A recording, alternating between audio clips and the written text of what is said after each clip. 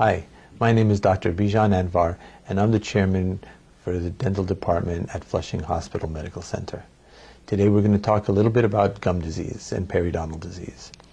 Periodontal disease, also known as gum disease, is a disease of the mouth and the gums. You get accumulation of tartar or calculus, what we call, and that's full of bacteria.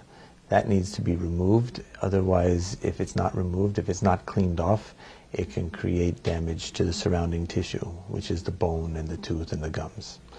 Uh, some of those symptoms are bleeding gums, bad breath, uh, sometimes the gums start to shrink.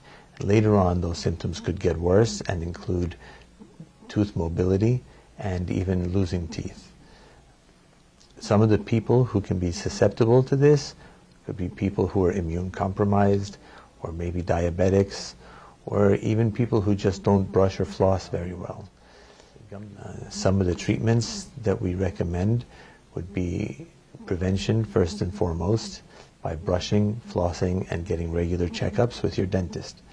Uh, if they find that you have a problem, then you can see either a gum specialist or you can start with a deep cleaning. So if you find that you're experiencing any of those symptoms or want to have treatment or an evaluation, please call us at our clinic number 718 670 5521. Thank you.